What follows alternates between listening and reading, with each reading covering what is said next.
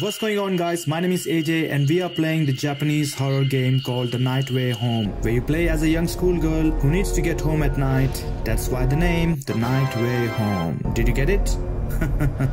Never mind. So it all starts in the subway. The place looks dark and deserted and there is even an opportunity to leave the place and go home but our little friend insists on roaming around. She then wants to use the... Ladies, what's her room?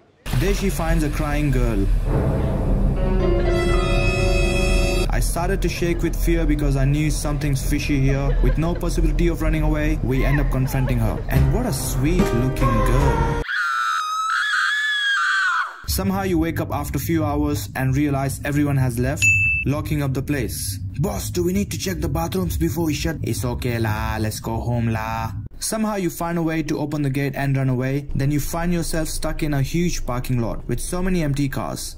Finally, you find your long lost bicycle, which is all messed up, and you refuse to borrow someone else's. Even though your life is on the line, you decide to walk home.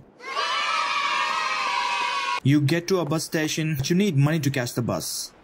Sir, please drop me home. A ghost is trying to kill me. Sorry la, you need to bring money la. Somehow you found some coins for the ride, but you're still miles away from home. After hours of walking, shaking, crossing, and trying to find your building complex, you finally reached home. But where is mummy? Mummy?